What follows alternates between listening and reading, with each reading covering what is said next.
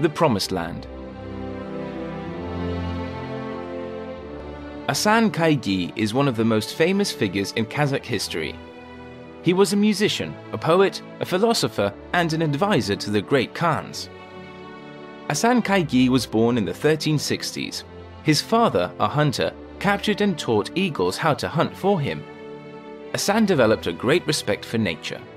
He knew how to hunt, but he was also well educated and trained in military theory. Living in troubled times, he gave advice to the Khans during conflict and peacetime. Asan created a philosophy about values like justice and wisdom based on what he saw in the real world. He really cared about the Kazakh people and worried about their future. When he was quite old, Asan traveled around the whole of Kazakhstan on his camel, searching for Zheruyik, the promised land. He believed this was a real place with clean water, fertile soil, plenty to eat, and good living conditions. Asan was over a hundred when he died, but he never found the promised land. However, the legend says that he could only die when he had finished his work on Earth. And in difficult times when people might be in danger, he will come back.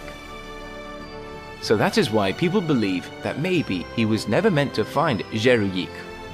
Maybe the idea of a perfect place and a perfect society is one which we must all work towards, like Asan Kaygi did. We might never achieve our goal, but every day will be better than the one before.